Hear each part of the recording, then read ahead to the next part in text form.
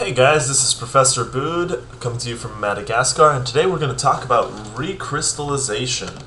Recrystallization is a cool process, and it is actually, for those of you familiar with uh, the show Breaking Bad, is actually used in the show uh, multiple times as they are trying to recrystallize uh, methamphetamine, which is an illegal drug for those of you that don't know that. Hopefully everyone knows that.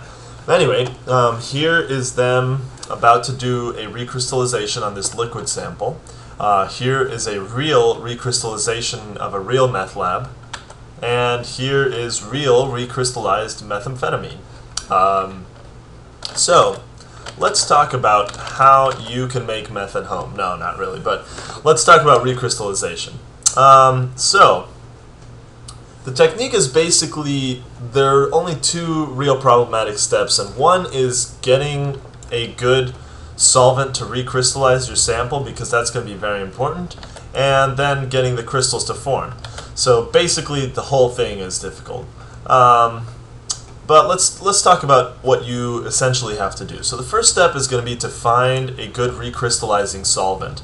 And so to do so, you're going to have to run little trials um, of, of your sample with with these different solvents. And remember, you're going to grab you're going to go and grab a uh, an unknown, so that's going to be your sample. And we're going to have, I believe, five different uh, solvents that you're going to try out. And what you're looking for is this little bit right here. You're looking for a solvent which is very insoluble at low temperatures and highly soluble at elevated temperatures. The reason for that is you essentially want your solvent to be able to fully dissolve, or your compound to be able to fully dissolve into your solvent, and then to be able to recrystallize at room temperature. So, you essentially dissolve your sample. We are going to skip steps 3 and 4, but you would normally decolorize and filter out hot impurities uh, by using activated charcoal, which is basically like a Brita filter. Um, so just uh, as, as your compound moves through there, any sort of impurities will be picked up by the charcoal. This is called adsorption, as an AD absorption. Um, you're then going to crystallize your sample, and to do that, you're just going to essentially let the the um, uh, the solvent uh, dissolve, or not dissolve, evaporate. Um, and then you're going to dry your sample. And those are those are essentially the basic steps that you're going to have to follow in order to do this. So you're going to have to also look at this this characteristics of a good recrystallizing solvent for the first step because it's important to find the right solvent. And so there are a few things like you know the solvent should boil between these temperatures. Um, don't use explosive compounds or toxic compounds or expensive compounds um, and don't use anything that would chemically react with your sample, but you don't know what your sample is, so we're kind of limited here. Anyhow, um, there are a couple extra troubleshooting tips in the lab manual. Um, and yeah, so if you just look under commonly occurring problems and recrystallizations and possible solutions, it walks you through a few a few little uh, tips and tricks. Okay, so let's go to our procedure. So we're going to make a warm bath um, we're going to add water and heat it up, and we're going to insert a thermometer and try to get the temperature to about 70 degrees. Um, in the meantime, we will have uh, five samples, or we will separate out five sam five little samples of your unknown, and you're going to test it out with fi with five different solvents that we're going to have. Um, and I believe the solvents are, it says somewhere here, yeah, here we go water, ethanol, ethyl acetate, heptane, and toluene.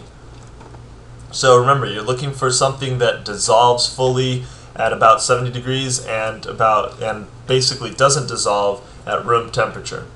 So uh, what, you're going to test each of these solvents by adding uh, one milliliter of your solvent to about 0.05 grams. Uh, where does that say? Yeah, 0.05 grams of your unknown you're going to add one milliliter of your solvent.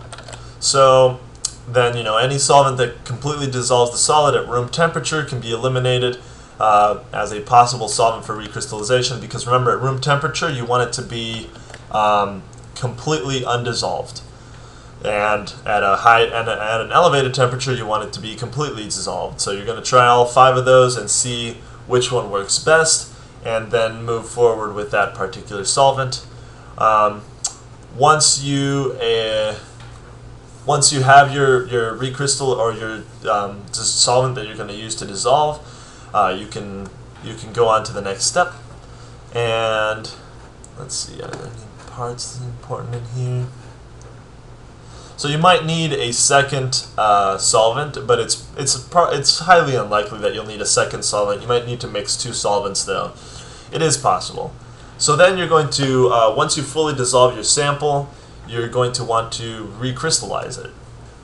Um, so you're going to have a full a full gram of your unknown, and you're going to use that full gram, and you're going to mix it with. Uh, and here it shows you the calculation, but you know if we used 0.05 grams for 3 milliliters, which we did not. We used 1 milliliter, as, as we mentioned before. Uh, but this will allow you, this sort of calculation will allow you to find how much volume of your solvent you need for your full 1 gram of unknown. Um, then, let's see. Yeah, so you're going to essentially then take it into um, a graduated cylinder, and you, the reason you want to use 50% is in case uh, this is you don't do it quite right. You want to have um, a little backup sample, so in case in case you messed it up, and so that you can can try it again.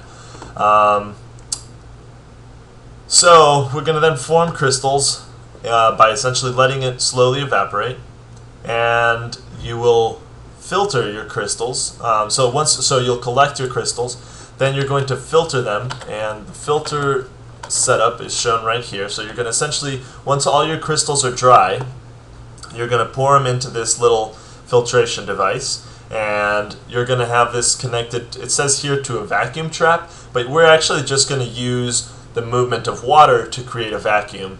Um, so that's going to be your vacuum and essentially what this is going to do is create a small vacuum in here and allow uh, any sort of extra solvent that you pour because we're going to need to rinse these so any extra solvent that you pour on top of your crystals to just be pulled through right here and nicely and quickly dry your crystals.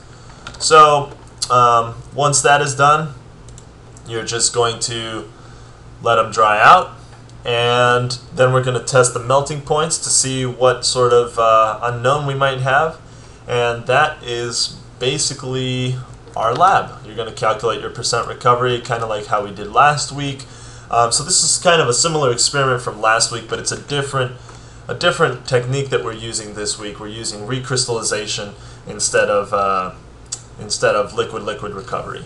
So hopefully that helps you guys out, and if you have any questions, send me an email. See you soon.